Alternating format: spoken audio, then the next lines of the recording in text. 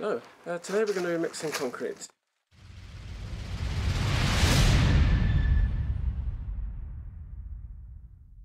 I'm using a concrete mixer. If you've got any quantity to do, uh, it's well worth borrowing one or you can hire one for a few pounds a day. Uh, they are really good. Um, to get the right mix, uh, the best thing really is to look on the bag of cement.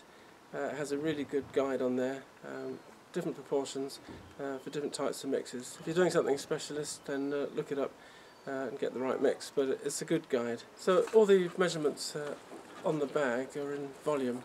So the thing is to, to get a, a bucket and use that for all your mixing. So if it's 4 to 1, uh, use 4 of these, 1 cement, uh, just keep that consistent, then each mix will be the same. And also you don't get weak mixes because you know things have got a bit awry. So that's the most accurate way of doing it. Put the cement in the middle of the mix if you can.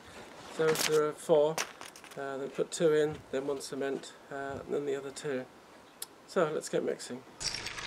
The better mix it is when it's dry, uh, the better mix you're going to get. So the, the, key thing is to get the stuff at the back. Uh, it's very tempting to put a spade or something in there to winkle it out, but it's quite dangerous. So the best thing is to either stop it, or you can just punt it forward a little bit. Yeah, it's starting to mix in some of the stuff in the back now.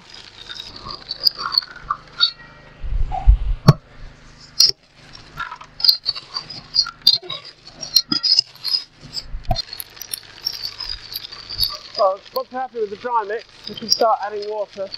Uh, main thing is not to put too much in because you can't take it out. So just put a bit at a time, let it mix a bit more so we get a nice smooth consistency.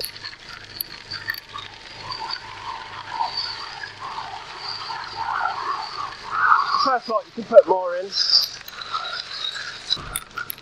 it's going well. The pump is about the consistency I want, but there's still a lot of dry at the back. So just going to put a bit more in, even though just a mugful at a time is enough uh, to make the transition.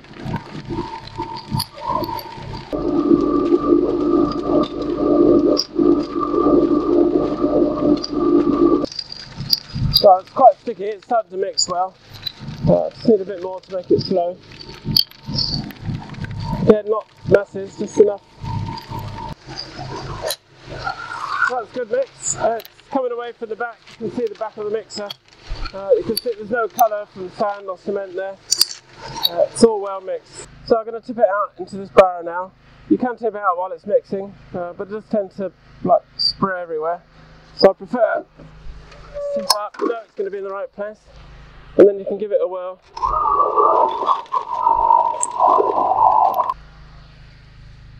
Yeah, you can give that a bit of a clean out. Uh, I've got a lot more to do, so uh, I'm going to do that at the end.